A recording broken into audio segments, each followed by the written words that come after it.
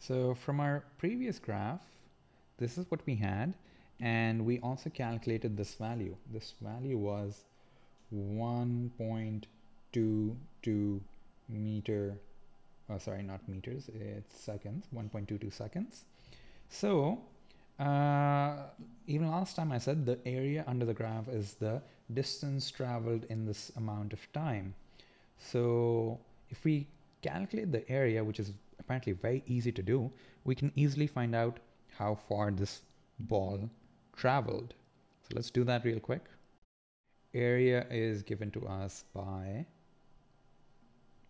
half times, you know, BH, which is half times 12, it doesn't matter, uh, 1.22 divided by 2 and I get 7.32 down to the last uh, second decimal, right? Seconds, sorry, meters. That's the height.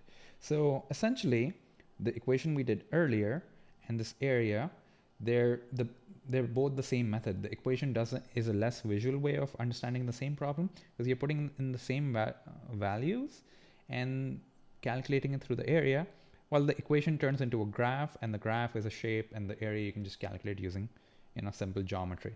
So essentially you're looking at the same problem, we just did it in two different ways.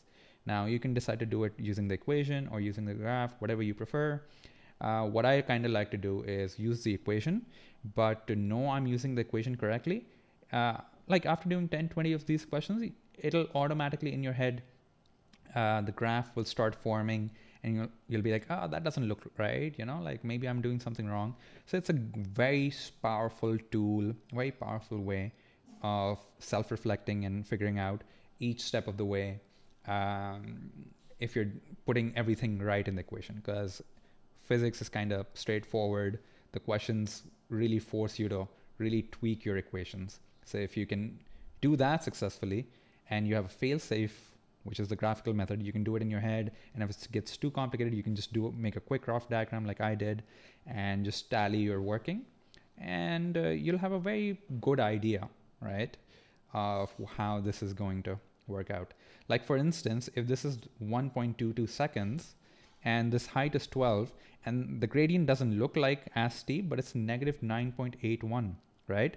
So that means for one second, the speed attained is 9.81. So this gradient should have been a lot more steeper. So if I'm getting a very small value of time, because it's only 12 and in the first second it'll already drop down to by 9.81. So I can understand why the second value, like if this was 10, I'd be like, oh, that doesn't seem right. Because between one and three seconds, this graph should touch over here. That's the power of, you know, getting uh, so if you made a error in the equation while calculating it maybe you you know mistyped something in the calculator you can quickly um, realize that like oh I shouldn't be getting 10 seconds. It shouldn't take that long. Right? All right let's move on